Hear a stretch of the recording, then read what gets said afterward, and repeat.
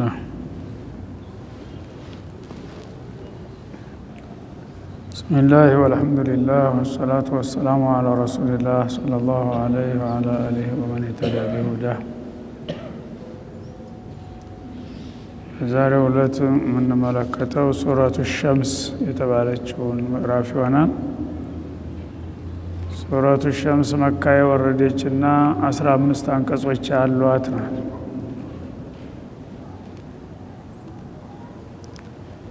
በሁለት አበይት ጉዳዮች ላይ ታተኩራለች።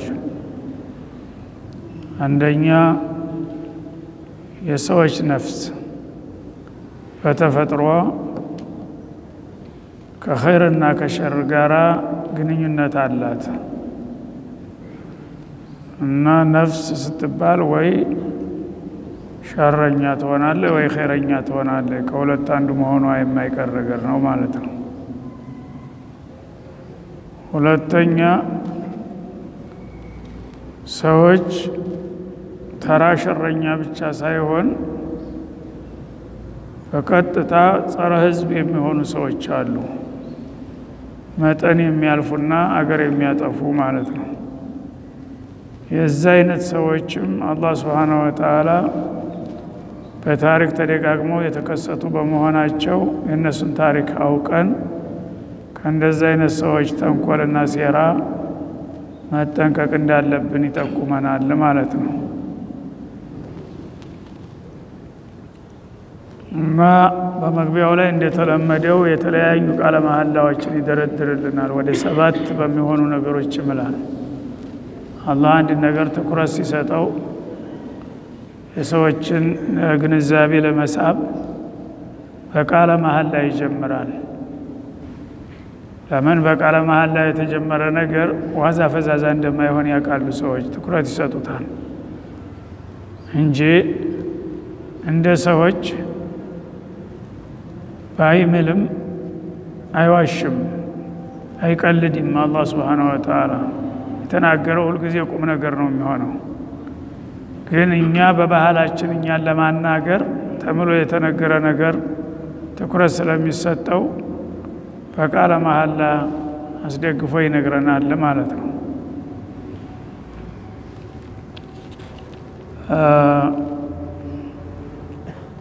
እነዚህ እንግዲህ ሰባት ነገሮች በዓለም ላይ በጣም ጎልተው የሚታዩና የሚታወቁ ናቸው። የእሱ ጥበብና ኃይል ጥልቀትና ስፋት ምን ያህል እንደሆነ የሚያሳዩንም ስለሆነ እግር መንገዳቸውን እነሱንም እንድንገነዘባቸውና በእነሱ አማካይነት ፈጣሪን እንድናቅ ይጠቁማል ማለት ነው። ፀሐይ ናት። እንግዲህ ፀሐይ በዓለም አቀፍ ወደር የሌላት ታላቅ ታምር ናት። ቀጥሎም ጨረቃ ነው። እነ ሸምሰ ወልቀመር አየታኒ ሚን አያቲላህ አሉ የአላህ መልእክተኛ ዓለይሂ ሰላቱ ወሰላም። ፀሐይና ጨረቃ ስለ አላህ ምንነትና ማንነት አጉልተው የሚያሳዩ ልዩ ተአምሮች ናቸው አሉ እና ፈኢዛ ረአይቱም ፊሂማ ኩሱፈ ወልኩሱፍ ፈፍዘው ኢለሶላ ፀሐይና ጨረቃ ላይ አንዳንድ ጊዜ አልፎ አልፎ የብርሃን መደብዘዝ ወይም ኩሱፍ የሚባለው ነገር ይከሰታል። እንደዛ አይነት ነገር በምታዩ ጊዜ ቶሎ ፈጥናቸው ወደ ሶላት ሂዱ እንጂ በጃሂልያ እንደሚባለው በዘልማድ ፀሐይ ብርሃን የሚጋረደው ትልቅ ሰው ሲወለድ ነው ወይም ትልቅ ሰው ሲሞት ነው ይሉ ነበረ። እንደዛ አትበሉ። አላህ ተአምሩን ነው። እኔ እኮ ብፈልግ ችን ብርሃናችሁን መቀማት እችላለሁኝ፣ አደብ ያዙ፣ ልብ በሉ ብሎ ለመገሰጥና ለማስጠንቀቅ የሚጠቀምበት ነው ማለት ነው። ፀሐይን እንደተለመደ ጠዋት አቶጭም ብሎ ቢይዛት ዓለም በጨለማ ተውጣ ብትቀር ህይወት የለም ማለት ነው። በቀላሉ ሌላ ጦርነት መክፈት አያስፈልግም። አን አምቦሌን በወስዳት የእናንተ ይበቃችኋል፣ እንዲህ ማድረግ እኮ እችላለሁ እያለ ናሙና እያሳየ ነው ማለት ነው። ስለዚህ ጨረቃም በአንጻሩም ቢሆን እንደሷ እንኳ ደማቅ ብርሃን ባይሰጥም እሱ ደግሞ በየወሩ በመጉደልና በመሙላት አካሉ ክቡ ራሱ በየቀኑ እየቀነሰ ወይም እየጨመረ መሄዱ ሌላ ተጨማሪ ተአምር ነው ማለት ነው። ማን ነው በቢላዋ እየፋቀ ነው የሚያቀጥ ነው ወይስ እሱ ባይሆን ኑሮ እና እነዚህንና የመሳሰሉ ተአምሮችን በመግቢያው ላይ በቃለ መሐላ መልክ ይጠቀምባቸዋል። አሁን ቲላውን እንስማና እንመለሳለን።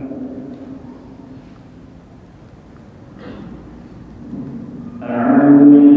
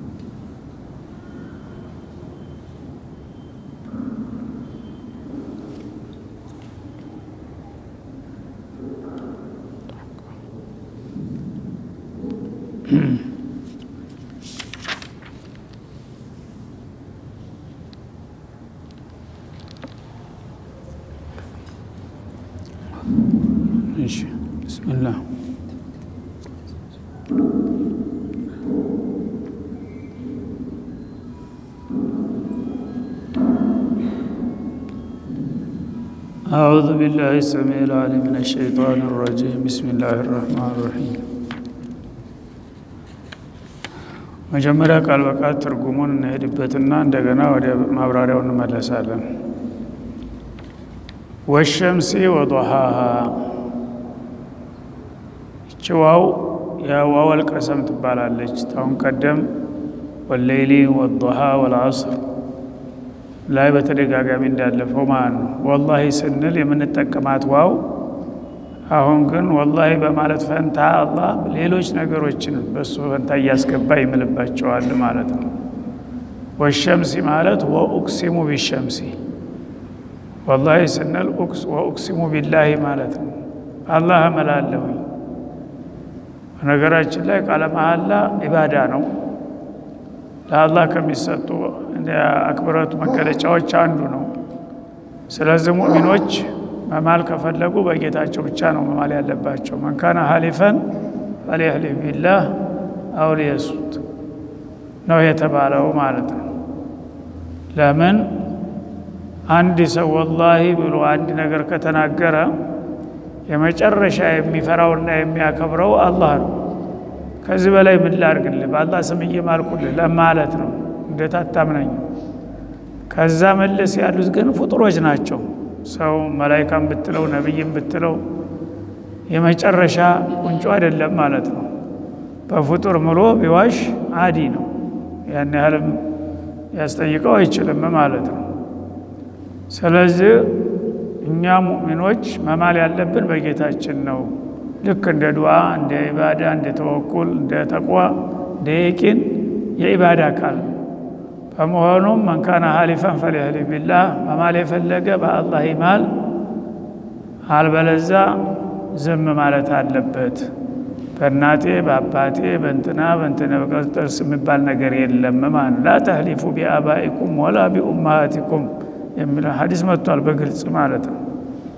ሀገራችን ተመጥፎ ልማዶቻችን አንዱ አባቴ ይሙት እናቴ ይሙት የሚል መሀል አለ።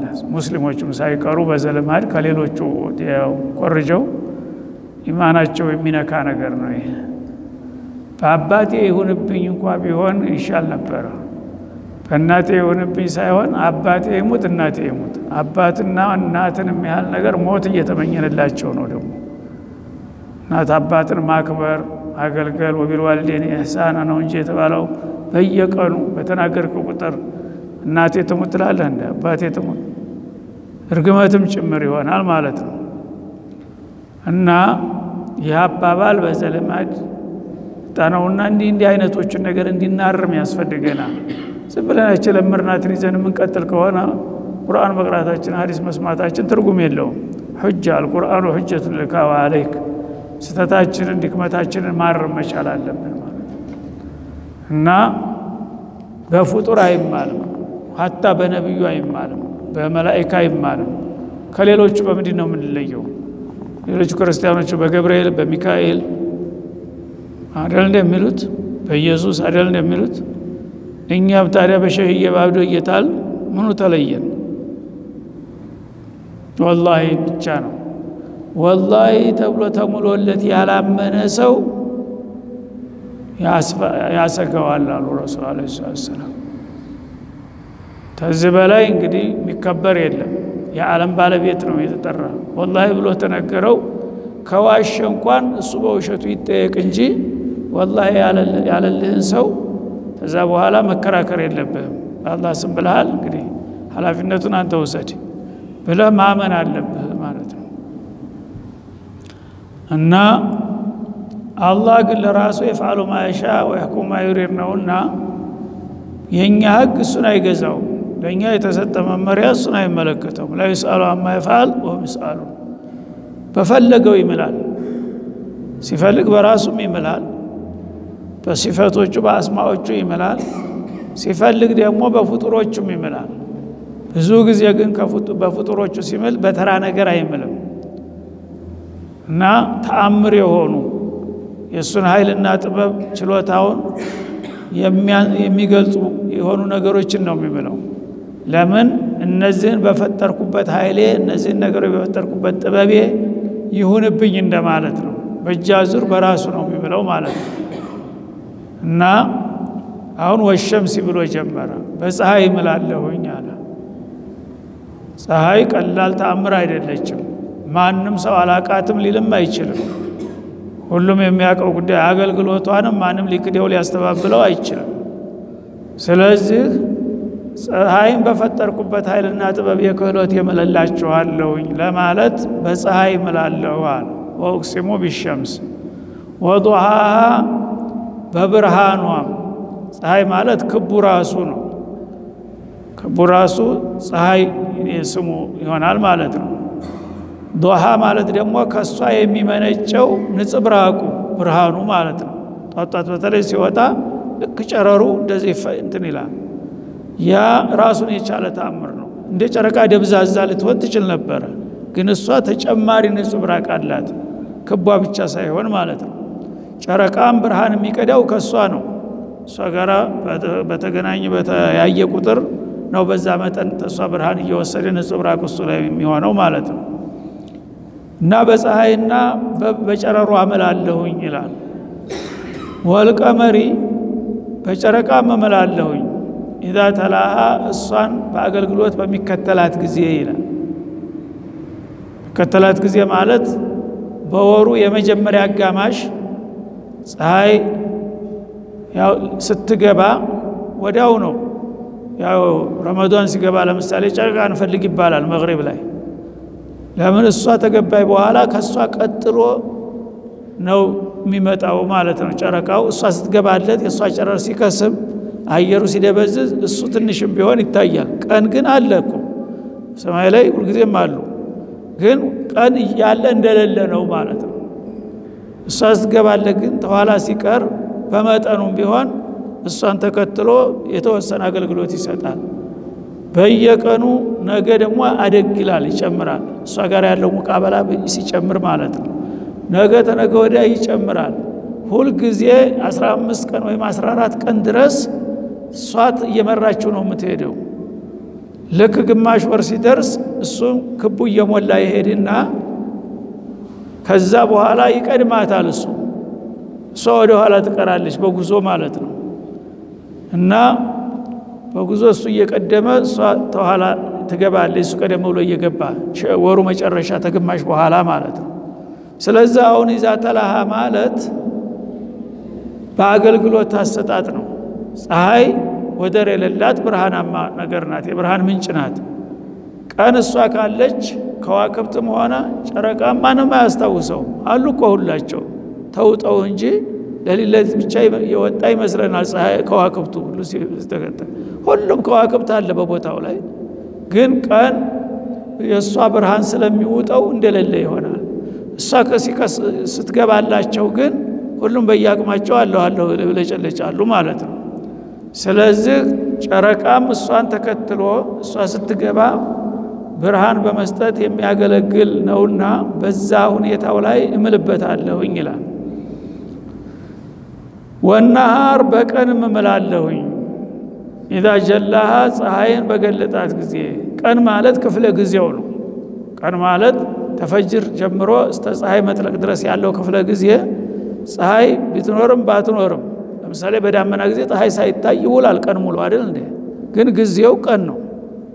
ስለዚህ ያ ቀን የእሷ መገለጫ ነው፣ መድረኳ ነው ማለት ነው እና ቀን ቀን ያደረገ በሆነው ጌታ ምላለሁ እንደማለት ቀንን ክፍለ ጊዜ ምልበታለሁኝ። ወለይል የታጀላሃ ማለት ፀሐይ የሚገልጣት እርግጥ አላህ ነው፣ ግን እሷ በዛ ክፍለ ጊዜ ነው የምትገለጠውና ማለት ነው። ወለይሊ በሌሊት ምምላለሁኝ ኢዛ የግሻሃ ፀሐይን በሚሸፍናት ጊዜ ክፍለ ጊዜው ሲያልቅ የቀኑ ክፍለ ጊዜ እሷ በአድማስ ትዞራ ትሄዳለች። ያኔ በቦታዋ ጨለማ መጥቶ ይሸፍነዋል ማለት ነው። ያ ብርሃናማ የነበረው ቦታ ሁሉ በሙሉ መታየት ያቀታል። እና በእነዚህ ነገሮች እምላለሁ። ወሰማይ እንደገና በሰማይ እምላለሁኝ በላይኛው ዓለም ማለት ነው። ሁሉንም ሰማይ ያካትታል፣ ሰባቱንም ሰማይ አል እዚህ ላይ ወሰማ ስትል ይችላል። አልዋ ጅንሱን ነው የምታመለክተው የሰማይ አይነት። ከምድር በላይ ያለ ሁሉ በሙሉ ሰማይ ይባላል። እኛ ሰማይን በሰማይ መልክ ፈጥሮ የሰየመ ጌታ እንግዲህ ሰማይ በጣም ትልቅ ታምር ነው። ወይም ሲኩ ሰማ አንተ ከአላል አርድ ይላል። ሰማይ በመሬት ላይ እንዳይወድቅ ወጥረን የያዝነው እኛ ነን ይላል። አንድ ማንጠልጠያ ወይ መገደፊያ ሳይኖረው ተረውናሃ ቢገይሪ አመድን ተረውናሃ የምታዩት አንድ መሰሶ አለ ሰማይን የሚደግፍ ምንም የለም ቁድረቱላህ ካልሆነ በስተቀር ማለት ነው። ስለዚህ ወማ በናሃ አለ ወዲያውን ወደ ዋናው መጣ። በሰማይና በገነባት ኃይል እምላለሁ አለ። ወመን በናሃ እንደማለት ነው። ማና መን ያው ተተካኪ ናቸው። ብዙ ጊዜ ጋሊበን መን ለመን ያቂል ማ ለመን ያቂል ነው ቢባልም ከቋንቋ አቀማመጥ ግን ሁለቱ ይወራረሳሉ። አንድ ጊዜ ማ ሁና የመን ማዕናት ይዛ ትመጣለች። መን ሁና ደግሞ ማ ሊሆንም ይችላል ማለት ነው።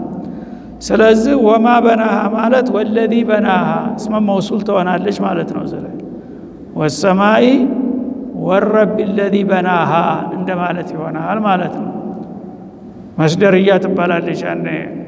በሌላ በኩል ወመን በናሃ ተተባለ በቃ ማ የነበረው በመን ተተካ ወረቢ ለዚ በናሃ ይሆናል። መስደርያ በምትሆን ጊዜ ግን ወደ መስደር ትለውጠዋለች ፊዕሉን ማለት ነው በና የሚለውን ወሰማይ ወቢናኢሃ እንደማለት ይሆናል ማለት ነው። በግንባታዋ የሰማይ አገነባበብ በጣም ልዩ ነው። ሌላው ነገር እንግዲህ አዲ ነገር ነው የሚመስለው ሲታይ ማለት ነው።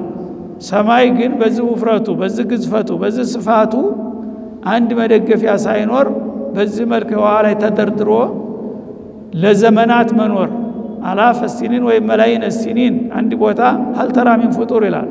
አንድ ቦታ ሰንጠቅ ያለች ወይም የተሸረፈች ነገር እንኳን አታይም። ፍጹም የሆነ ስራ ነው የተሰራው ማለት ነው። በዚህ ምላለሁኝ ይላል። ወላ አርዲ በምድርም ምላለሁኝ ወማ ጧሃሃ አሁንም እንደዛው ማ ወመን ጧሃሃ እንደማለት ወይም ወጧሕዊሃ እንደማለት ለመስደርያ ትሆናለች ማለት ነው። በሰማይና በገነባት ኃይል እኔ ነኝና ማለት ነው የገነባሁት። ወይም ደግሞ ወጧሕዊሃ በአገነባቧ መሬትን ባዘረጋጓ ማለት ነው። መሬትን በዚህ መልክ የዘረጋ ማን ነው? አላህ ነው ስብሓነሁ ወተዓላ። እኩሉን ደጋ፣ እኩሉን ቆላ፣ እኩሉን የወይና ደጋ፣ እኩሉን ገደል፣ ግሉን ሜዳ፣ የተለያየ አፈሩ የተለያየ ከለር ቀያቴው፣ ነጫቴው፣ ጥቁሩ ምኑ በዚህ መልክ ያዘጋጀ የሆነው ጌታ እምላለሁኝ ይላል። ወነፍሲን በነፍስም እምላለሁኝ ወማ ሰዋሃ ባስተካከላት ጌታ ወመን ሰዋሃ ወይ ወተስዌትሃ እና ሰዋሃ ማለት ምንድን ነው? ነፍስ የምትታይ ነገር አይደለችም። አካላችን ውስጥ ግን በሙሉ አካላችን ውስጥ አስርጦ ነው የሰየማት ማለት ነው። ይሳሉነከ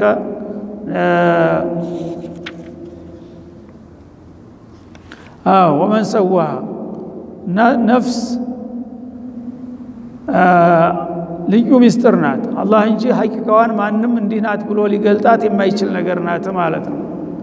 ሰው ነፍስ አካል ውስጥ ስትኖር አካላችን ሁልጊዜ ሕያው ሆኖ ይኖራል፣ ይንቀሳቀሳል፣ ይሰራል፣ ምን ይላል፣ ያስባል። ሩህ እች ነፍስ የምትባል ነገር ስትወጣ ግን ከአካላችን የተቀነሰ የተቀረሰ ነገር የለም፣ ግን ወዲያው ታገልግሎት ውጭ ይሆናል። እና ሰአሉነከ አን ሩሒ ቁል ሩሑ ሚን አምሪ ረቢ እንዳለው ነፍስና ሩሕ የተለያዩ ናቸው አንድ ናቸው የሚለው የተለያየ የቋንቋ ውዝግብ ቢኖርም በመሰረቱ አንድ ናቸው የሚለው ነው የሚያመዝነው ማለት ነው። እና ፈአልሃመሃ ይችን ነፍስ ያሳወቃት የሆነ ፉጁራሃ ጥሜቷንና ወተቅዋሃ ጥንቃቄዋን ይላል በሆነው ጌታ እምላለሁኝ። አላህ ስብሓነሁ ወተዓላ ሰዎችን ፈጥሮ ነፍስ ተዘራባቸው በኋላ በውስጣቸው ኸይርና ሸር የሚባልን ነገር አሳውቋቸዋል በተፈጥሮ ስሜታቸው ማለት ነው እና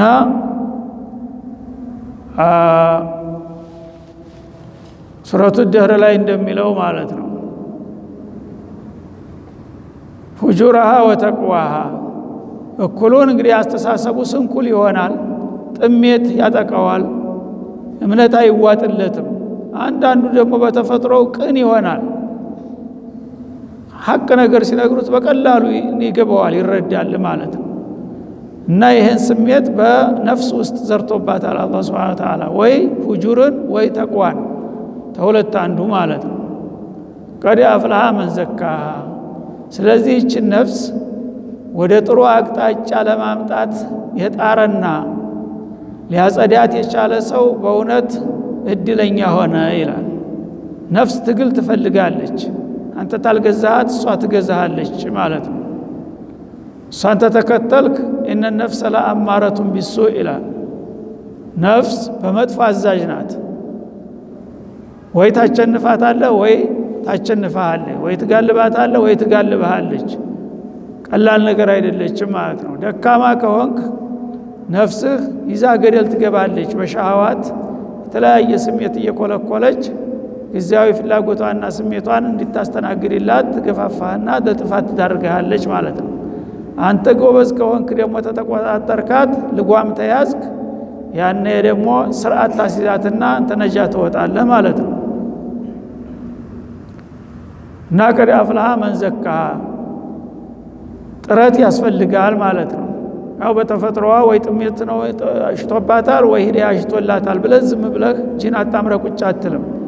ነፍስህን ታግለህ ለማቸነፍ መጣር አለብህ ማለት ነው ወቀድ ኻበ መንደሳሃል መንደሰሰሃ ነበረ ደሰሰ። እና ሁለተኛው ሲን ለማቅለል ወደ አሊፍ ተለውጦ ደሳሃ ተባለ። እና ደሳሃ ማለት ያቆሸሻት ማለት ነው። ነፍስን ያቆሸሻት ሰው ለኪሳራ ተጋለጠ። ማለት ኩፍር ስትፈልግ እንደፈለገ ይጥለቀ ሽርክ ስትፈልግ ቢድዓ ስትፈልግ ወንጀል ስትፈልግ እሷ እንደፈለገ ዝም ብለህ ልቅ ካደረካት ይቺ ነፍስ በቃ አንተን ይዛ ለጥፋት ነው የምትጓዘው ማለት ነው ኪሳራ ላይ ይወድቃል እሷን ያው ያልተቆጣጠረ ሰው ማለት ነው። ይህን ካለ በኋላ በዚህ እንግዲህ ደስ የምታደርገው ነፍስ ምሳሌ ናሙና ለማሳየት ታሪክን በአጭሯ ቀንጨብ አድርጎ ያመጣታል ማለት ነው። የግል ስሜታቸውን የሚከተሉ ሰዎች በጥሜታቸው ራሳቸውን ብቻ ሳይሆን ሌሎችን በዙሪያቸው ያሉትንም ይዘው የሚጠፉበት ሁኔታ ይኖራል። ሀገርን፣ ወገንን የሚያወድም ሰው ይመጣል። መጥፎ እርኩስ አስተሳሰብ ያለው ሰው ማለት ነው። እና ነፍስን መቆጣጠር የግድ አስፈላጊ ነው። ነፍስን ልክ ታደረካት ይዛ ገደል ትገባለች። አንተን ብቻ ሳይሆን ሌሎቹንም ለሀገርህና ለወገንህ ዳፋ ልትሆን ትችላለህ። እርኩስ መንፈስ ተጠናወተ ማለት ነው። ለዚህ ምሳሌ ካስፈለገ ከዘበት ሰሙዱ ቢጦዋሃ ይላል። ሰሙድ የሚባሉ ሰዎች በአንድ ወቅት በአረብ ሀገር በመዲነተል ሙነወራና በኡርዱን መካከል ያለ ክልል ዋዲል ቁራ ይባላል እና በዛ ሀገር የሚኖሩ ሰዎች ነበሩ እና በጣም በጥሜትና በሽርክ የታወቁ ነበሩ። ጥጋበኞች፣ ስዶች ነበሩ ማለት ነው። ለዛ የዳረጋቸው ደግሞ መጥፎ አምባገነን መሪ ነበራቸው፣ አለቃቸው። ራስ በሽተኛ ከሆነ እግር ጤናኛ ሊሆን አይችልም እና በመጥፎ መሪያቸው ለጥፋት የተዳረጉ ሰዎች ነፍስያን በመከተሉ ያ ሰው ማለት ነው። እነሱ እንደነሱ እንዳትሆኑ ነው። አሁን እንግዲህ አሽሙሩ ከዘበት ሰሙዱ ቢጠቁሃ ሰሙዶች በጥሜታቸው አስተባበሉ ሐቁን ይላል። ማስተባበላቸው መቼ ነው የተገለጸው?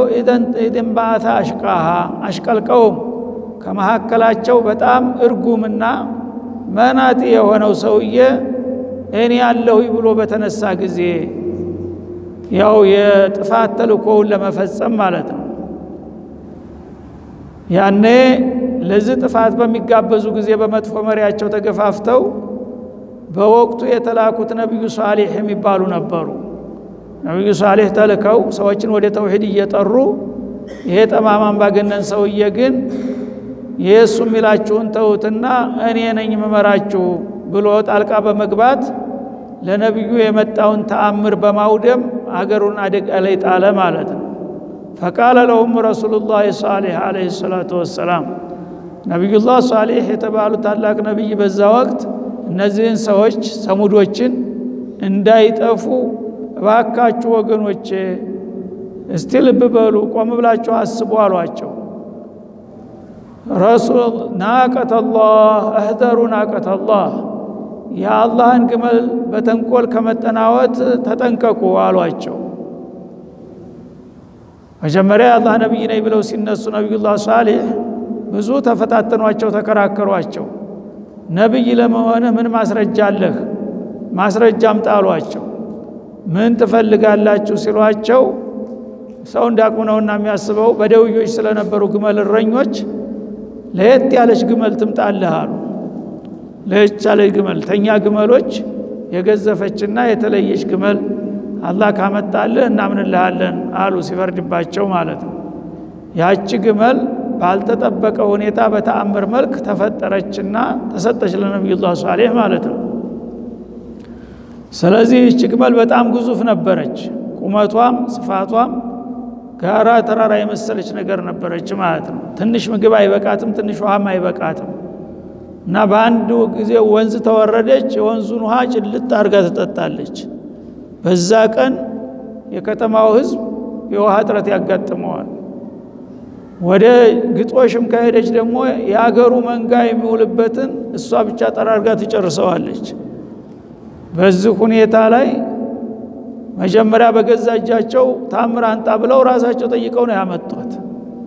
ኋላ ግን ይቺ ግመል ያው እኛንም ለውሃ ጥም እንዳረገችን ከብቶቻችን ፍየሎቻችንም ያው በድርቅ ሊያልቁ ነው እሷ እየበላች ሰብሉን ሁሉ በማለት መነጫነጭ ጀመሩ ማለት ነው። የዛ ጊዜ ተቁላህ አሏቸው። ናቀተላህ እህዘሩ ናቀተላህ ይህች እኮ ተራ ግመል አይደለችም አላህ ለእኔ ነቢይነት ማረጋገጫ ብሎ በራሳችሁ ጥያቄ የላካት ግመል ናት። ስለዚህ ለሃ ሽርቡን ወለኩም ሽርቡ የውም ማዕሉም አደብ ያዙ። ወረፋ ያዙና በእሷ ተራ ምንም ነገር ወንዝ መውረድ የለባቸው በእናንተ ተራ ደግሞ እሷ ትጠጣባቸውም አንድ ቀን አልፋ አንድ ቀን ነው የምትጠጣው። ይቺ ዝንፍ ብትል እንኳን ለማጥቃት ቀርቶ ይችን ተራዋን እንኳ ብትጋፋት መዘዙ የከፋ ይሆናል በማለት አስጠነቀቋቸው ማለት ነው። ግመሏንም የመጠጥ ድርሻዋንም እንዲያትጋፋት ተጠንቀቁ ተባ። ፈከዘቡህ። ያነ በዛ ጥጋበኛ መሪያቸው አስተባበሉት። ዝም ብለህ ታስፈራረናለህ አንተ። ምን ልታመጣ ነው አሉና አስተባበሉ ማለት ነው። ፋቀር ውሃ። ስለዚህ የመጣ ይንጣ ብለው ግመሏን ውሃ እየጠጣች እያለች ተኋላ ቆንጃዋን በሰይፍ ቆረጣት። ያ የተረገመ ሰው መጥቶ ማለት ነው። ወደቀች። ተወደቀች በኋላ አርደው ገፈው ስጋዋን ተቀራምተው በየቤታቸው እየተሸከሙ መግባት ጀመሩ ማለት ነው። እና በነቢዩ ሳሌህ በር ሲያልፉ ስጋ ትፈልግ እንደሆነ እንመጹትህ እንደ ይሏቸው ነበር አረ ችግር የለውም እናንተ ለእናንተ ብቻ ስጋውን በልታችሁ የሚጨርሱበት ጊዜ ያለ አይመስለኝም እና ቶሎ ቶሎ ብሎ አሏቸው። ሶስት ቀን ነው ታሁን በኋላ የምትኖሩት። እና ተሶስት ቀን በኋላ የሚተርፍ ከሆነ ያው ይበላሻል በይም አያገኝም አሉ። እኔ እንኳ አልፈልግም አሉ። እና መጀመሪያ ናቀተላ የአላህን ግመል ጫፏን ብትነኩ ወዮላችሁ ብለው ነበር በደፈናው አይደል ልክ እሷን ስታጠፉ ወዳው እናንተ ጠፋላችሁ ትላልነበረም እንዴ? አሁን ደግሞ አሻሻልከው ሶስት ቀን ቀጠሮ አራዘምክ አይደለም አሏቸው። ደግሞ ቆይተ ሳምንት ታረገው ይሆናል። ቆይተ ደግሞ ወር ተዛ በኋላ ይረሳል እያሉ ይሳለቁ ገባ። ያኔ እሳቸው ምን አሉ? ሶስት ቀን ነው ቀጠሯችሁ ምንም መጨመሪያ ነገር የለም። ያቺ ሶስት ቀን ካለፈች እኔ ምላሴ አሉ እና ያን እንግዲህ ሁኔታ በዚህ መልክ አስጠነቀቋቸው። እነሱ ግን አልመሰላቸውም ማለት ነው። ፈደምደመ አለይህም ረብሁም ቢዘንቢህም ፈሰዋሃ ያኔ ያችን ግመል ያው ገለው ተቀራምተው ገብተው እሱን እየበሉ ሲጨፍሩ አላህ ዳር እስተ ዳር በሙሉ አደጋ መጣና እንዳልነበሩ ዝም አደረጋቸው። ያ አደጋው አድማስ አንድ ሰው አልተረፈም ከአማኞቹ በስተቀር እንዳለ ጸጥ አረገው ከተማውን ማለት ነው። ወላ የኻፉ ዑቅባሃ የዚህ የጥቃቱን አጠፋ ምላሽ የሚፈራም አልነበረም ጌታ። አንድ ሰው ጥላቱን ሲያጠቃ ለጊዜው ሊያጠቃው ይችላል ግን ያ ጥላት ደግሞ ወገን ይኖረዋል ወይ ወዳጅ ይኖረዋል። እገሌን ለምን አጠፋ ብሎ ደማፋሽ ሊመጣ ይችላል ማለት ነው እኔ አልፈራም ማንም እንደማይመጣ ቃለሁ አለ አላ ስብን እና ይህ እስቲ የምታመጡት ነገር ካለ እናያለን። እኔ እነዚህን ሰዎች ማስጠንቀቂያ ሰጠናቸዋል ማስጠንቀቂያውን ካላከበሩና እርምጃውን ከወሰዱ እኔ ደግሞ አጠፋ እርምጃውን በእነሱ ላይ ሰወስድ የሚመጣ ጥቃት አፋሽ አለ ብዬ ሳልሰጋ በእርግጠኝነት ነው ያወደምኳቸው ይላል እና ትርጉሙ ይህን ይመስላል ማለት ነው። ስለዚህ ያው ቃለ መሐላዎቹ እንደ መንደርደሪያ ናቸው መግቢያ። አላህ ስብሓን ወተላ ታሪክን ታሪክ ብዙ ጊዜ ታሪክ ሲባል አፈ ታሪኩ ሁሉ ምንጭ የሌለው መሰረት የሌለው ነገር ሁሉ ታሪክ እየተባለ እየተግበሰበሰ ሰዎች ይጎናበዳሉ። ታሪክነቱን ለማረጋገጥ ነው እነዚህ የቃለ መሐላዎች ቀድመው እንትን ያሉት ማለት ነው አትጠራጠሩ ይሄ ነገር በምድር ላይ ተከስቷል ለማለት። እና በፀሐይና በብርሃኑ አመላለሁኝ በጨረቃም እንደዚሁ ፀሐይን ተክቶ በሚያገለግልበት ጊዜ እምላለሁኝ። በቀንም የብርሃን መገለጫ በሆነው ክፍለ ጊዜ እምላለሁኝ። በሌሊትም የጨለማ መሰጊያ በሆነው ወሰማይ በሰማይና ወማበናሃ በገነባት ኃይል ወይም ደግሞ በግንባታዋ ውበት እምላለሁኝ ይላል አላ ስብን ወተላ ወለአርዲ በምድርና ወማጧሃ በዘረጋት ጌታ ወይም ባዘረጋጓ ስርዓት ወነፍሲን በነፍስም እምላለሁኝ ወማሰዋሃ ነፍስን በሰውነቷ በአካል ውስጥ ያሰረጣትና የማትታይ የማትጨበጥ ነገር ናት። ነፍስ እንግዲህ የት ነው ያለችው ቢባል የት ታገኛለ ሰውየውን ብቀደው ምን ብትለው ውስጥ የሚገኝ ነገር የለም ግን ያለ እሷ አካል ጥቅም የለውም በሙሉ ሰውነታችን ውስጥ አስርጦ ሚስጥር ነገር ናት። ያችን ነገር እንድንኖር ያደረገን በዚህ ምላለሁኝ ማለት ነው። ፈአልሃማሃ ፉጁራሃ ወተቅዋሃ ማንኛዋንም ነፍስ ታዲያ አላህ ጥሜቷንም ጥንቃቄዋንም አሳውቋታል ማለት ነው። ሀዳሃ እንደማለት ነው እና እና ሀዴናሁ ሰቢለ ኢማ ሻኪረ ወኢማ ከፉራ እንዳለው ሱረቱ ደህረ ላይ ሰውን ፈጥሬ ዝም እያለቀኩትም ይህ አቅጣጫ አሳይቸዋለሁኝ ግን አላስገድደውም ነው የሚለው አላህ ሱብሓነሁ ወተዓላ። አቅል የሚባል እንግዲህ ትልቅ ሚዛን ሰጥቸዋለሁኝ። ያን አቅል ከሰጠሁት በኋላ እንደገና ስለ እኔ ፍቃድ ደግሞ መሪና አስተማሪ ነቢይ ልኬለታለሁ፣ ኪታብ አውርጄለታለሁ። እነዚህን ሶስት መሳሪያዎች ተጠቅሞ በቅን ልቦና ወደ ጌታው ፍቃድ የሚመጣ ካለ እሱ ይድናል ማለት ነው። ይህን ሁሉ እንግዲህ መሳሪያ ሰጥቸው ይህን ሁሉ በግድ የለሽነት አባክኖ ዝም ብሎ መደናበርን የመረጠ ከሆነ ግን እሱ ለዳ የተጋለጠ ነው ይላል ማለት ነው። እና ነፍስ እንግዲህ ማንኛውም ሰው በአቅሉ ያውቃል። ህሌና የነገረኝ ይላል እና በተለይ ሙእሚን የሆነ አላህን የሚፈራ ሰው ሁልጊዜ ሐላልና ሐራሙ ብዙ ሳይማር ይገባዋል፣ ይከብደዋል አንድ ነገር በአቅሉ ሲያስበው ማለት ነው። እና ነፍስን በአካል ውስጥ ያሰራጨ የሆነ ጌታ ወይም ደግሞ ነፍስን ያስተካከለ ለአካሏ ተመጣጣኝ አድርጎ የሰየመ ማለት ነው። ፈአልሃማሃ ፉጁራሃ ጥሜቷንና ወተቅዋሃ ጥንቃቄዋንም ያሳወቃት እኩሉን አላህ ያስተሳሰቡ ቅን ያደርገውና ቅንነትን ይመርጣል። ሌላው ደግሞ ጊዜያዊ ፍላጎቱን ለማርካት ሲል ጥሜትን ይመርጣል ማለት ነው። ይሄ እንግዲህ ምርጫው ለራሱ ተቶለታል። ነገሩ ይሄ ነው። ይሄ ይጎዳሃል፣ ይሄ ይጠቅመሃል። ይሄ ቀኝ መስመር ነው፣ ይሄ ግራ መስመር ነው። ቀኙን መስመር ይዘህ ከሄድክ ጀነት ነው ግባትህ፣ ግራውን ተሄድክ ጀሃነም ነው ቤትህ ብሎ አስቀምጦለታል ማለት ነው። ከዚያ በኋላ ግን ላንተ ይተዋል ኃላፊነቱ። ፈመን ሻአ ፈልዩሚን ወመን ሻአ ፈልየክፉር ይልሃል። እጅህን ጠምዝዤ በግድ ማመን አለብህ አልልህም። ተፈለክ መን የእምነትን ውጤቱ ነዒም መሆኑን ነግሬያለሁኝ። ተፈለክ ካድ የክደት ደግሞ ውጤቱ ሲኦል እንደሆነ ተነግሯል። ምርጫው የራስህ ነው። ሳልነግርና ሳላሳውቅህ ግን አልቀጣህም፣ ማዘናግቼ ነው ዋናው ነገር እና ወማ ኩና ሙዓዚቢና ሀታ ነብዓተ ረሱላ እንዳለው ማለት ነው። አላህ በአዘናግጦ አድፍጦ አያጠቃህም፣ ግልጹን ይነግርሃል ማለት ነው። ይህን ይህን ይህን ስራ ይህን ውጤት ታገኛለህ፣ ይበጅሃል። ይህን ይህን ተጠንቀቅ፣ ይህንን ብትጥስ ወዮልህ ብሎ ይነግርሃል። ከዛ በኋላ ምርጫውን ለራሱ ይተውልሃል። ቀጠሮ ሲደርስ በነገርኩ መሰረት አንተ ይህን ሰርተሃል፣ በመልካሙ ይህን ተይዞልሃል፣ በመጥፎው ደግሞ ይህ ሪከር ተይዞልሃል ይልሃል ማለት ነው። እና ቀድ አፍልሃ መን ዘካሃ። እዚህ ላይ የሰው ልጆች ብዙ ጊዜ ትንሽ መሽለኪያ ቀዳዳ ይፈልጋሉ። እና ፈአልሃማ ፉጁራሃ ታለ እሱ ራሱ ነው። አንተ ጥሜት ነው የሚገባ ቅንነት ነው የሚገባ ብሎ መድቦ እያለ እንደገና በምን አሳሬ ነው የምጠየቀው? የሚል ክርክር እንዲያነሳ ያንተ ሚና ቀላል አይደለም ይላል አላህ ሱብሓነሁ ወተዓላ።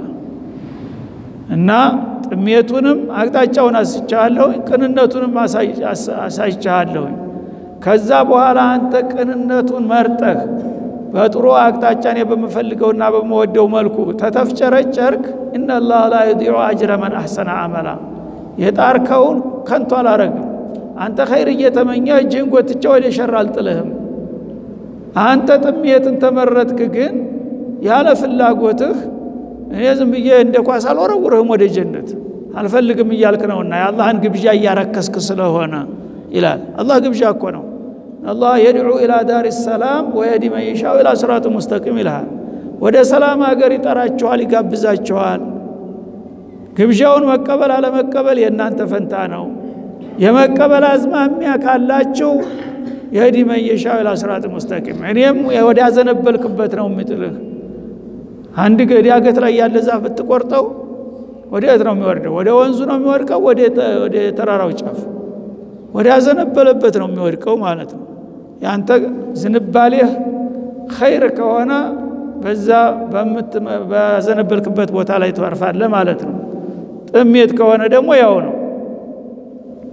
ወቀድ ኻበ ስለዚህ ነፍስን ዝም ብሎ እያድበሰበሰ በወንጀል በኩፍር በሽርክ በቢድዓ እያጨማለቀ እቀጥላለሁኝ የሚል ካለ እሱ ያው ለኪሳራ ተጋልጧል ማለት ነው። አፈረ ተዋረደ ይላል ማለት ነው። ለጊዜያዊ ካፊር የተባለ ሁሉ በሙሉ ያውቃል ይህንን። ግን ለጊዜው ሐላል ሐራም ብዬ ለምን እጨነቃለሁኝ? የፈለኩትን መብላት፣ የፈለኩትን መጠጣት፣ የፈለኩትን መጨፈር፣ መደነስ፣ መደሰት አለብኝ ነው እኮ የሚለው።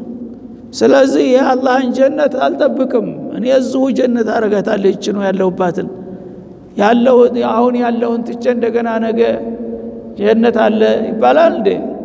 ላማለይ በሰማይ ወተቱንማ ላይ እንደሚለው ይልሃል ማለት ነው።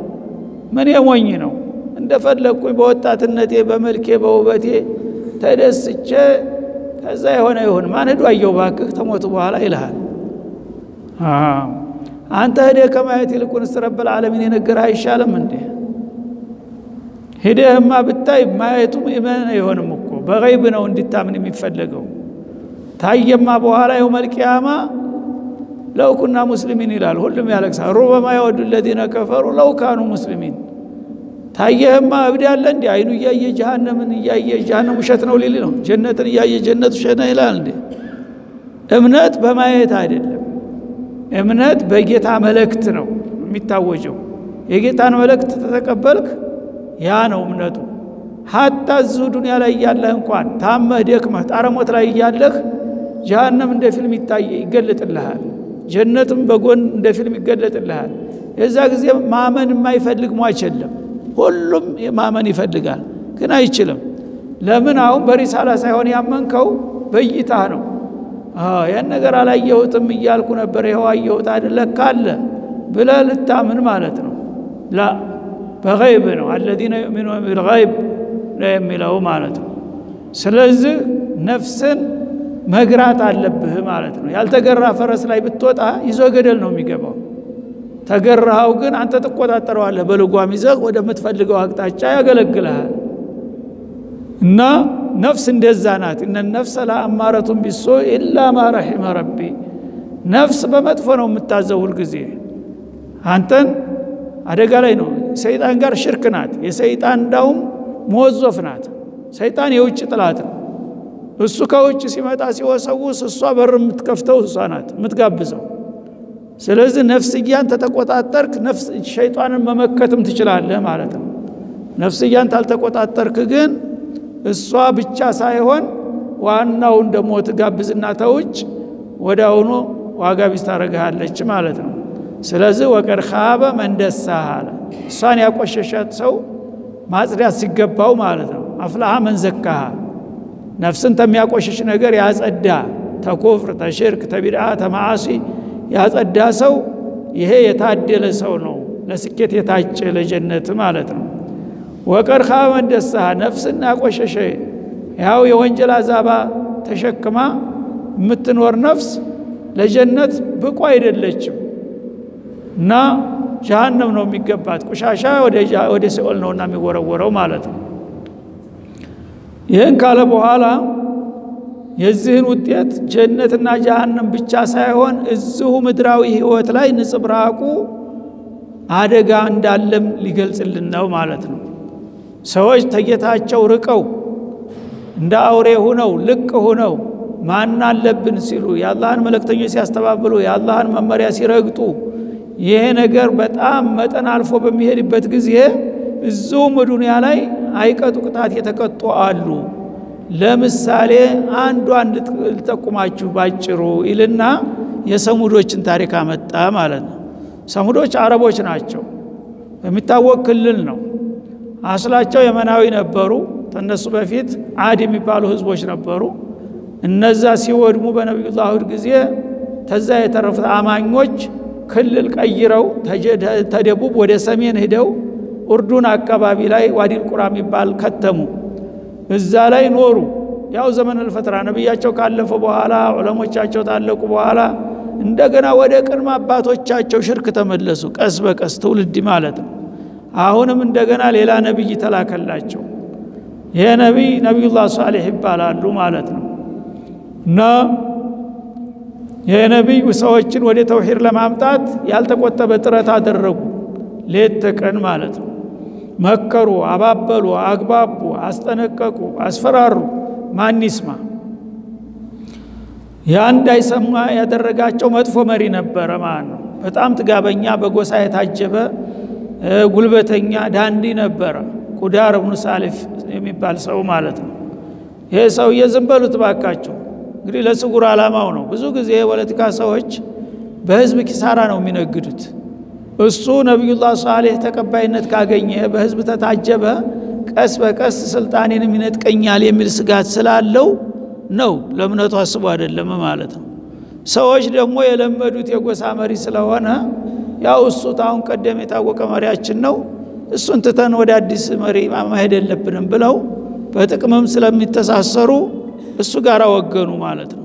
አብዛኛዎቹ ኩፍርን መረጡና ወዳቸው እያወቀ መከራከር ነቢዩ ጋር አተካራ ፈጠሩ ማለት ነው። የተወሰኑት ጥቂት ግለሰቦች እርግጥ አምነዋል፣ ተከትለዋቸዋል። ግን የካደው በዛ ማለት ነው እና መጀመሪያው የቃል ክርክር ነበረና አንተ ነቢይ ለመሆን ምን ማረጋገጫ አለህ እያሉ ደጋግመው ሲጠይቋቸው ጌታቸውን ለመኑ። ጌታ ሆይ እኔ እነዚህ ሰዎች ያው ነገርኳቸው፣ አስረዳኋቸው። ግን ቁሳዊ ስለሆኑ ቁሳዊ የሚታይ ነገር ነው የሚፈልጉት፣ ቃላት አያሳምናቸውም አሉ። ስለዚህ የምታረገውን አርግ አሉ። ችግር የለውም እንግዲያውስ አላቸው። በል ጠይቃቸውና ራሳቸው የሚፈልጉትን ታምር ራሳቸው ይምረጡ አለ። በገዛ እንትኑ ሊያጠፋ እና ታምር አሳማኝ የሆነ ተጨባጭ ታምር አምጣ ነብይ ለመሆንህ አለበለዚያ እነማ አንተ በሸሩ ሚስሉና የኛው ቢጤ ሰው ነህ። በሁለት እግር ነው የምትሄደው። የእኛን ቋንቋ ነው የምትናገረው። አንተ ተማን በልጠህ ነው ነብይ የሆንከው። ምቀኝነቱም አለ በዛው ላይ ማለት ነው ሲሏቸው፣ ይሺ እኔ የአላህ ነብይ ለመሆኔ በቃሌ እኮ እየነገርኳችሁ ነው። ዋሽቻ አላቁኝ። ታውቃላችሁ ነቢዮች አይዋሹም በልጅነታቸው ቢሉ አይ እንደዚህ የአፈጨልነትን ተው፣ ታምር ተጨባጭ ነገር አምጣሏቸው። ይሽ ምን ትፈልጋላችሁ ሲባል በአቅማቸው እነሱ አስተሳሰብ እንግዲህ ትልቅ ነገር እንትን ማለታቸው ግመል ነው። ተኛ ግመል ለየት ያለ ግመል ትምጣልህ አሉ። ከምን ሱብሃናላህ ከተራራ ተቆጢ ድንጋ ፊት ለፊታቸው ትልቅ ቆጢ ድንጋ አለ። ከዚህ ድንጋ ግመል ተተወለደልህ ታዕጂዝ እኮ ነው። ታዕጂዝ የሱአል ጦለብ ታዕጂዚ ይባላል። አንድ ሰው ደራቃ ሰው ሲከራከርህ የማይሆን ነገር ነው ሸርጥ የሚያመጣብህ ያ ነገር ሲያቅትህ ተቸነፍክ ሊልህ ማለት ነው። ስለዚህ ተቆጢ ድንጋ ግመል ተወጣችልህ፣ እውነትም ጌታ ነው እንደዚህ ያደረገው ብለን እንቀበልሃለን አሉ። ያው ጌታ ጋራ መጀመሪያ ተስማምተዋል ይህን እንደሚያደርግላቸው በሉ እንግዲህ ኋላ ደግሞ በእኔ አልነበርኩም አላየሁም ምናምን ችግር እንዳታመጡ ሁላችሁም ተሰብሰቡ አሉ። የከተማ ህዝብ በሙሉ በነቂስ ወጥቶ ትልቅ ቆጢ ነው ድንጋው። ዙሪያውን ከባችሁ ተመልከቱ ስትወለድ በገሃድ እንግዲህ ያን ዱዓ አደረጉ፣ ጌታቸውን አመሰገኑ። ልክ የግመል እንትን እርጉዝ ግመል ስታረገዝ ጮኋለች በኃይል እና ጎራው ያ ተራራው ድንጋው መጮህ ጀመረ። ያ የግመሉን ድምፅ የሚመስል ጩኸት ማለት ነው። ሰው ውስጥ የሚደነግጥ ድረስ ማለት ተዛ በኋላ ስንጥቅ አለ መሀል ለመሀል ማለት ነው። ሲሰነጠቅ ይች ግመል በጣም ግዙፍ ነገር ናት። ዝም ጥጃ ነገር አይደለችም። ትልቅ ግንታ አይናቸው እያየ ግመሏ እንዳለ ተፈልቅቆ ወጣችና ፊታቸው ቆመች ማለት ነው። ምን ይባል እንግዲህ የሰው ልጅ ድርቅናው ምን ያህል እንደሆነ ይህን አይቶ ሰው እንዴት ይክዳል? ደግሞ ራሳቸው የጠየቁት እክትራ ያረጉት እነሱ ናቸው። ለጊዜው ደነገጡ። ማተቴኛ የሳሄር እንደው እንዳርጎ በቃ እንትን ሊለን ነው አሉና ግን ፈርጠም ብለው መከራከሩን ትንሽ ለዘባሉ። ይህን ያደረገ ደግሞ ቢጠርገንስ ብለው ማለት ነው።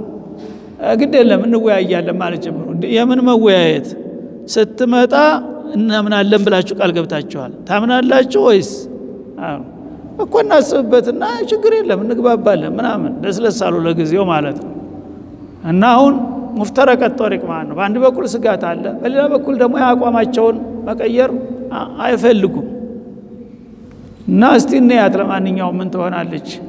አሉና በሉ እንግዲህ ግዙፍ ናት፣ ደግሞ ሰማይ እየደገፈች ነው የምትመስለው። ቁመቷ፣ ውፍረቷ፣ ስፋቷ። ደግሞ እርጉዝ ሁና ነው የተወለደችው። ጥጃም ወለደች ይባላል ወደ። ከዛ ትንሽ ነገር አይበቃትም። ትልቅ የወንዝ ጅረት ውሃ አለ በከተማው መሀል የሚሄድ። ያንን ውሃ መጣ ጭልጥ ታደርገዋለች እንዳለ ያው ሰው ከብትም የሚጠጣው ነገር የለም። እሷ በጠጣችበት ጊዜ እንደገና በዚህ ዳገት ከዋለች አንድ ቀን ሙልጭ አርጋ አፈሩ ብቻ እስከሚቀር በዚህ ደግሞ ነገ ተመጣይ በሙሉ ባዶ ይሆናል። ምን ሳር ብቻ ሰብሉን የሰው አዝሪት እንዳትነኩ የአላህ ግመል ናት። መሬት ላይ ያገኘሽውን ብሊ ተብላለች አንድ ሰው ጫፏን ቢነካ ተባለ። ያንተን እርሻ መታ ጥርግ በአንድ ቀን። ነገ ደግሞ ይህ ጊዜ ላይከላከሉም ደግሞ የባሰ ነገር ይመጣል ብለው ፈሩ። መኖርም አይቻልም በዚህ መልክ። ምን ይሁን? ከዛ ባለስልጣናት ያው ተገባብዘው ስለዚህ ጉዳይ እንግዲህ እንወያያለን ብለው ወደ መጠጥ ቤት ይሄዳሉ። መጠጥ አዘዙ። መጠጥ ታዲያ አዘዙና እየጠጡ እየሞቃቸው ሲመጣ እንደ የዚችን ነገር ምን እናድርግ? ጎበዝ አሉ። ፊት ከአቅላቸው ስለሆነ ያው እርምጃ መውሰድ አልደፍሩም ነበር። አሁን ሙቆታል። ረ ወደ እሷን መገላገል ነው እንጂ አለ። ረ እውነት ብልሃል አለ። ይሄ ደግሞ ልክ ነው። እስከ መቼ በገዛ ሀገራችን ሳር ውሃ አተን አስሪታችን ተበልቶ እንዴት እንኖራለን? ፈይቅጅለትማ ይላል የገበዘ ጊታሩና እንትኑን እየሰማ ማለት ነው።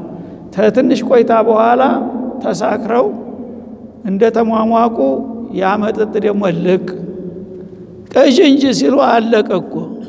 ቅራሬም ቢሆን አድርጊ። ቅራሪ ስቴት አለ ውሃ እኮ የለም በሀገር ሁላችኋ። ከአሁኑ በቃ በውሃ ጥማለቃችን ነው። ጎበዝ ምን ይሻላል? አለ አንዱ አይ እኛ ተፈቀዳችሁን የእርምጃ መውሰድ ይችላለሁ አላ ጎረምሳው ተነስቶ። ያ ጥጋበኛ ቁዳር ብኑ ሳሊፍ የሚባለው ማለት ነው? ምክንያቱም በጣም በብዙ ጎሳ የታጀበ ነው። ጉልበተኛ ነው ጀግና ነው በዚህ ሊሾም የበለጠ እንዲያገኝ ማለት ነው። እና ያኔ ሁሉም አቅሉ ከርቶታል አይደለም? አረ ገላግለን እንጂ ራስ የፈለገ ይሁን ብለው እንዲያውም ሰይፍ አንስተው ሰጡት መረቁት ማለት ነው። እሱ ሊገድል ተነስቶ ሲሄድ ህዝቡ እያጨበጨበ ከኋላ ያጅበዋል። እንግዲህ ህዝቡ ይቃወመው ኑሮ ጥፋቱ ለሱ ብቻ ይሆን ነበር ግን ድጋፍ ሰጡት። ያነ ልክ ተንደርድሮ እንደወረደ እሷ ደግሞ አገራማን ነው ብላ ውሃ ወርዳ እየጠጣች የወንዙን ውሃ እየጨለጠች ነው ያለችው። ከኋላ መጥቶ ተንጠራርቶ ተኋላ ቋንጃዋን ቆረጠ ማለት ነው። እዛ ጮሃ ባርቃ ወደቀች። እሷን ያው ተከፋፍሎ ስጋውን እያንዘፋዘፉ በየቤታቸው ገቡ ማለት ነው። እና ሰላሰተ አያሚን ዛሊከ ዋዱን ገይሩ መክዙብ አሉ። እድሜያችሁ ሶስት ቀን ነው የምን ሶስት ቀን ወዲያው እሷን ብትነኩ ስትል የነበር ከአሁን ደግሞ ሶስት ቀን አራዘምከው አሉ። ተሶስት ቀን ቢያልፍ እኔ ምላሴ ደግሞ ምልክቱ ታሁኑ ይጀምራችኋል አሉ። መጀመሪያ ታሞ እንደከረመ ሰው ትወራላችሁ ፊታችሁ ቢጫ ይሆናል አሏቸው። ነገ ደግሞ ቀይ ይሆናል ደም ይመስላል ፊታቸው ተነገ ወዲያ ደግሞ ከሰል ይሆናል በዛ ምሽት ያልቅላችኋል አሏቸው ይህን እያሉ የመጀመሪያው color መጣ ፊታቸው ላይ። ቢጫ ሆነ ሁሉ። አንዱ የሌላውን ፊት ሲያይ አንተ ፊት ተቀየረብኝ ይሳል። ዘንባል ቡካታም ይለዋል። እሱም እያየኩ ነው። ዘንባል ቡካታም ፈርተህ ነው። ምንድን ነው የተቀየረው? ይላል። ደግሞ ቆይቶ ወደ ቀይነት። ዘንበል ይላል ዝም ብሎ። በመጨረሻ ያቺ ሶስት ቀን ስትደርስ መልአኩ መጣና በከተማው ላይ እንዳለ ጩኸት ለቀቀበት ማለት ነው። የመላይካ ኃይል እንግዲህ ዙቁወት እንዴት አሽመኪን እንዳለው አንድ መላይካ አላህ ቢፈቅድለት ዓለምን በሙሉ ሰማይ ምድርን በአንድ ደቂቃ አመድ ማድረግ ይችላል። ተዛች ለዛች ከተማ ተፈቀደለት ትንሽ ነገር ማለት ነው። እቺ ከተማ ወደ እርምጃ ውሰድና ተአማኞቹ በስተቀር አንድ ሰው እንዳይተርፍ የሚል ቆራጥ ትእዛዝ መጥቶ መላይካው መጥቶ በአየር ላይ አንዴ ሲያስተጋባ በዛ ከተማ ውስጥ ያለ ካፊር እንዳለ እመት ፊሊት ዝንብ ቦታ ላይ እንደዚህ ሲነፋ ምንድን ነው የሚሆነው? እንደዛ ቀባሪ አልባ ሁሉም ከተማው እንዳለ እንደዚህ ሁነው ወደሙ። ምንድን ነው ምክንያቱ? ጥጋብ፣ ነፍሳቸውን አለመቆጣጠር፣ አለማሰብ፣ ከኛ በላይ ኃይል አለ አለማለት መዘዙ ይሄ ነው እና ኢዚን በአሳ አሽቃሃ ይሄ ሸቅይ የሸቅይ እስመት ተፍዲል ነው። በጣም መናጢ ጸረ ህዝብ የሆነ ሰው ሌሎቹ ፈርተው ነበር፣ እያወላወሉ ነበር። አሁን እሱ በጥጋብ ተነስቶ ሲደነፋ ሲፎክር፣ እነሱም ስሜታቸው ታደሰና ድጋፍ ሰጡት፣ ይዟቸው ጠፋ ማለት ነው። እና የአላህ መልእክተኛ አስጠንቅቋቸው ነበረ። ማስጠንቀቂያውንም ተላለፉ። የመጣው ይምጣ አሉ። እርምጃው ተወሰደ። ከሶስት ቀን ቆይታ በኋላ ደግሞ የእነሱ ፍጻሜ የሆነ ይላል አላህ ሱብሓነሁ ወተዓላ። ይሄ ምንድን ነው? ነፍስን ያለመቆጣጠር፣ ሰው እንደ ሰው ማሰብ አለመቻል ያመጣው መዘዝና ጦስ ነው ማለት ነው። እና አሁንም ኡመተል ኢስላም ይህንን ሰምታችሁ ታሪክ ራሱን ይደግማል እንዲሉ ጥፋት ላይ እንዲያትወድቁ ወቁ ነበር የተባለው። ግን ያው አሁን የምታዩት ሁልጊዜ መልሶ የሰው ልጅ ቢያጥቡ ጭቃ ነው። ይሄ ሁሉ ነገር እየታወቀ ነው። አሁንም ያለው ጥንቅጥ የሚታየው ይኸው ጥፋቱን እያመጣ ነው በዓለም ደረጃ። የአሁን የኮረና ራሱ በቂ ነገር ነው እንግዲህ አቅል ቢኖረው የሰው ልጅ ሱብሓነላህ። እንግዲህ ሁለት ሚሊዮን ተኩል የሞተው ብቻ በዓለም ደረጃ አመት ባልሞላ ጊዜ ማለት ነው ሟቹ ብቻ። የተረፈው ሶስት መቶ ሚሊዮን እየገባ ነው የታመመው ይህ ሁሉ እየታየ የሰው ልጅ ጥፋ ያለው በቃ እንደዚህ ነው። ታለችው ፍንክች የለም ጨፍር ነው እስከዛው ድረስ። ስለዚህ ፈከዘቡሁ ፈአቀሩሃ የአላህን መልእክተኛ መጀመሪያ ታምራን ጣሉ አመጡላቸው። ሲመጣ ሳሄር ነህ አንተ አስመስለህብን እንጂ እውነት ነገር እንዳልከው ሆኖ አይደለም ብለው ካዱ። ያም ሳይበቃ ደግሞ ግመሏን ገደሉ ማለት ነው። እነ ፈደምደመ አለህም ረቡሁም ጌታቸው በእነሱ ላይ በግመሏ የተወሰደውን ጥቃት ለሁላቸውም አዳረሰ። የእሷን ሞት እንዲሞቱ ተደረጉ ሁሉም ማለት ነው። አንድም ሰው አልዳነም። ፈሰዋሃ ማን አመመ ሀልከተማ ነው ጥፋቱን እርምጃው በሁሉም ላይ እንዲፈጸም ተደረገ። ይሄ የሚያሳየን ሌላው ምንድን ነው? አንድ ጥጋበኛ ወይም ስርዓት አልበኛ ሰው በሀገር ላይ ጥፋት ሲፈጽም ሽማግሌ ተው ይህን ነገር ሀገራችን አታጥፋ ብሎ መቋቋም አለበት። ያን ካላደረገ እንደ ተባባሪ ነው የሚታየው ማለትን ያመለክታል። ለተእሙሩነ ቢልማዕሩፍ ወለተንሃውና አኒል ሙንከር መልካም ነገር ማዘዝ አለባችሁ። እያንዳንድ ሁላችሁ ተመጥፎ መከልከል አለባችሁ። ይህን ካላደረጋችሁ ግን ፈየዑመኩም ላሁ ቢዒቃቢህ አላህ በቅጣቱ ሁላችሁንም ያካትታችኋል ያሉት ለዚህ ነው ማለት ነው። እና ፈለማ አሰፉን እንተቀምና ሚንሁም ፈአግረቅናሁም አጅመዒን ይላል የፊርዓውን ቂሷ ላይ ሐሚሞች ውስጥ ፊርዓውን የለየለት እንግዲህ አምባገነን ነው። ወደር የሌለው አነ ረቡኩም ልአላ ያለ ጥፍራን ባለጌ ነው። ማአሊምቱ ለኩም ሚን ኢላሂን ያለ ጎበዝ ነው። ያንን እንግዲህ መጠን ወሰን እንዲያልፍ ያደረገው የህዝቦች ድክመት ነው። ህዝባ አላህን ፍራ ተው አንተ ሰውዬ ብሎ የሚጋፈጠው ሰው ባለመኖሩ ነው። እንዲያውም በታሪክ ይባላል አንድ ፈላስፋ ነበረ በሱ ዘመን ወይም ኢብሊስ ነው የሚሉም አሉ። ቤቱ ሂዶ ዘየረው ፊርዓውን ከመጥፋቱ በፊት እና አነ ረቡኩም ልአላ የሚለ በር ቆፈቆፈ። ሲቆፈቁፍ ማነህ አለ። ዝም ብሎ ይቆፈቁፋል። ማነህ በለው ይላል። አሁንም ዘበኞች ወረ የሆነ ሰው ቁሟል ይላሉ። ማነህ አይናገርም እንዴት አለ ሲል በመጨረሻ እፍትህ ያ ገቢ አለው አንተ ተደያ አነከ ረቡና ወላ ተዕሪፉ መን ፊል ባብ ጌታችሁ ነህ እያልክ ያውም አዕላ ረቡ አዕላ እያልከን እበር የቆመ አንድ ግለሰብ ማታቅ ነህ እንደ ጌታ የሆንከው ተመልከት አለውና እንደማንኛው ደነገጠና ግባ ተባለ። ተገባ በኋላ እኔ ኢብሊስ ነኝ አለው ሸይጣን። እና ከአንተና ከኔ ማን ነው የከፋው ብሎ አይጠይቀውም ኢብሊስ? እንዴት ደግሞ ሰይጣን ያላለ እንዲ ኧረ አንተና የምትበልጠው እኮ አለው። እኔ በእድሜ በልጥህ እንዲሁ እንጂ በሸርም አንተን የሚያክል እኔ እስካሁን ጌታ እኔ ነኝ ብዬ ባፌ አልተናገርኩም አለ። ጌታ አላህ መሆኑን አውቃለሁኝ። አየህ? አላህ መሆኑን ጌታ አውቃለሁኝ ረቢ አንዲርን እያለ እንደሁም ዱዓ ያደርግ የለም እንዴ? እድሜ ስጠኝ እያልኩኝ እድሜ የምቀላውጠው ከሱ አይደለም እንዴ? አንተ እኮ አነ ረቡኩም ልአላ ነው። የምን አላህ ነው? የበላይ እኔ ነኝ እያልክ ነው ያለሁ ለመሆኑ እንደዚህ መጠን ያለፍከውና የጠገብከው ምን ስለሆንክ ነው? አለው ይባላል ሰዎች ናቸው እንደዚህ ክስ የሚለይ ሳጣ አለ። ሁሉም አንድ ነገር ስናገር ያጨበጭቡልኛል አለ። ረግ የማነገግረ እውነት ነው። ደግሞ ሲጨምርበት መጀመሪያ ማአሊምቱ ለኩም ምን ኢላሂን ነበረ። የራሱን ዞን ነበር የተናገረው። ተኔ በስተቀር ጌታ ያላቸው አይመስለኝም ነበረ።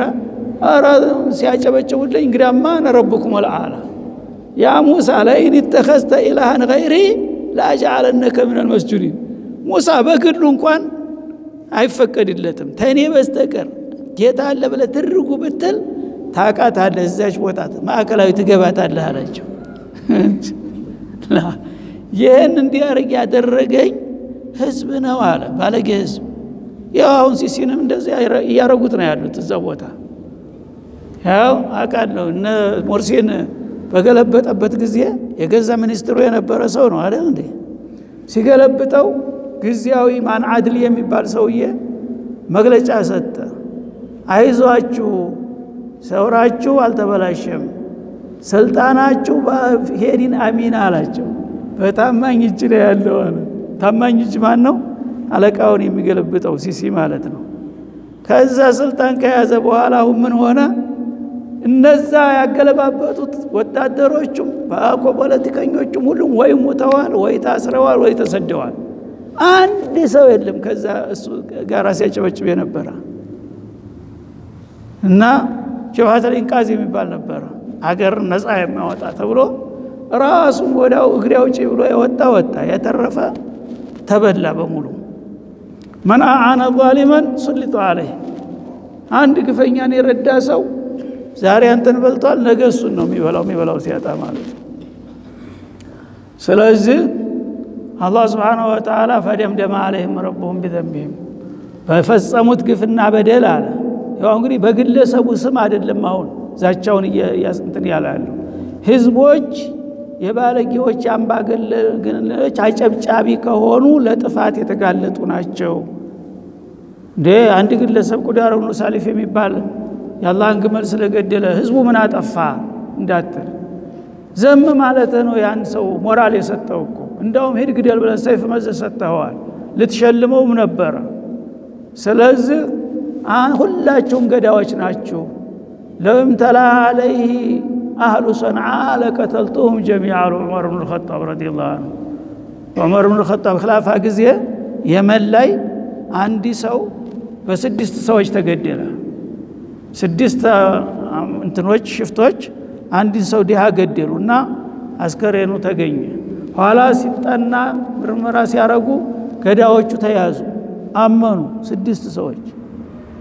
ስድስቱ ምን ይሁን ሲባል ያውቆ የገደለ ሰው ቂሷስ ነው ነፍስ ቢነፍስ ነው።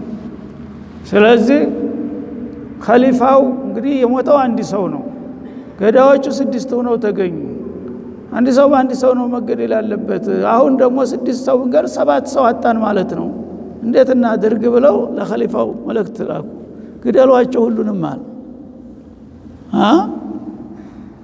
እንዴት አድርጎ ስድስት ሰው ይላል ለው ተማላ አለህ አህሉ ሰንዓ ለቀተልተሁም ጀሚያ ደግነቱ በስድስት ሰው ተወስኗል እንጂ የሰንዓ ከተማ በሙሉ ይህን ነገር ቢሰራ ኑሮ የሰንዓን ከተማ ተምድር ላይ ያጠፋው ነበር አሉ ዑመር ብን ኸጣብ ሹፍ ለአዳላ ለምን? መን አስሃመ ፊ ቀትሊ በሪኢን ቢሸጥሪ ከሊመቲን የሚለው ሀዲስም እዚህ ጋር ይመጣል ማለት ነው። አንድ ሰው በተዘዋሪ መንገድ እንኳን ንጹሕን ሰው መገደል ያለበትን ሰው በግማሽ ቃል እንኳን ተተሳተፍክ እንደ ገዳይ ትቆጠራለህ ማለት ነው። ሑሪመ አለይህ ልጀና ይላል። አማኝን ሰው ያለ አግባብ ያለ በቂ ምክንያት በግማሽ ከሊማ በግማሽ ቃል እንኳን በቃ ለምሳሌ ባለስልጣን ሁነህ ወይ ምስክር ሁነህ ወይም እንትን ሁነህ እቅቱን የሚለውን ትእዛዝ ብትሰጥ ይሄ ሙሉ ትእዛዝ ነው። በቃ እቅ ብለህ ቆምክ። አራት ፊደል ነው አይደል?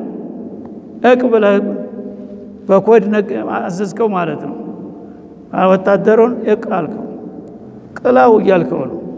ስለዚህ ያንን ያላግባብ ከቀላው ግማሽ ቃል ነው የተናገረው። ሙሉውን ቃል ግደል ያለውን አልተናገረም። ያ ሙሉውን ቃል እንዲያረከው ይቆጠራል። ምክንያቱም መልእክቱ ተፈጽሟል ማለት ነው። የቃላቱ መርዘምና ማጠር ምንም የሚያመጣው ነገር የለም። ስለዚህ የከጥ የሰንዓ ከተማ ይህን ሰው በመግደል ተባባሪ ሁኖ ባገኘው በሙሉ የሰንዓን ህዝብ ፈጀው ነበረ። እነዚህማ ሙባሽር ናቸው፣ ምንም ከላም የለም አሉ ማለት ነው። ስለዚህ አሁንም አላህ የሚለው ፈደምደመ አለይህም ረቡሁም ቢዘንቢሂም ፈሰዋሃ። እነዚህ ሰዎች የወንጀለኛ ጋሻ ጃግሪ ናቸው፣ አስተባባሪዎች ናቸው። እሱ ባያወብሩት ኑሮ እንደዚህ ደፍሮ ያደረገውም ነበርና አብረው ይጥፉ ተባሉ ማለት ነው።